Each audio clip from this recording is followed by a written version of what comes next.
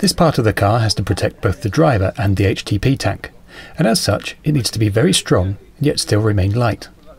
The best material for this is carbon fibre. Originally developed by the aircraft industry, it wasn't long before Formula One teams started using it too. The individual filaments of carbon fibre are tiny.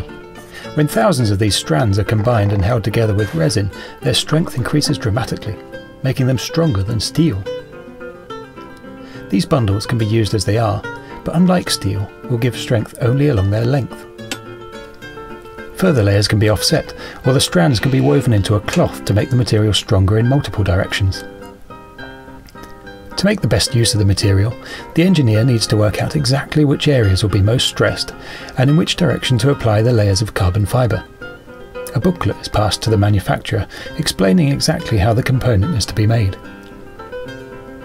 Here's the process for making a carbon fibre component. Carve the required shape, a pattern, out of tooling block with a CNC machine. Cover with layers of resin impregnated carbon fibre. Seal in a plastic bag and suck out air. Place in an autoclave, which is a bit like a giant pressure cooker. Increase the pressure to 80 psi, about the same as diving to 200 feet. Heat to 60 degrees centigrade. The heat will help the resin to flow and then set. Finally, release the mould from the pattern and begin the process again, this time using the mould instead of the pattern to produce the component itself. Umeco are currently well underway with the monocoque itself. This is the top half of the pattern being machined out of tooling block.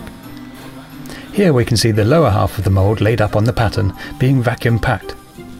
It's important that the plastic makes contact on all the surfaces, particularly in the corners.